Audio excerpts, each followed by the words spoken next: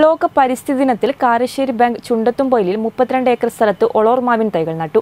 Bank chairman N K Abdurahiman ഉദ്ഘാടനം ചെയ്തു. Karassery panchayat member Siji Sibi അധ്യക്ഷത വഹിച്ചു. ബാങ്ക് ഡയറക്ടർമാരായ ജോസ് കുട്ടി അരീക്കോട് കണ്ടൻ പട്ടർച്ചോല റോസമ്മ കോഴിപ്പാടം മുൻ പഞ്ചായത്ത് മെമ്പർ അലക്സ് നടുവത്ത് ജിജി ഉഴുന്നാലിൽ തുടങ്ങിയവർ സംസാരിച്ചു.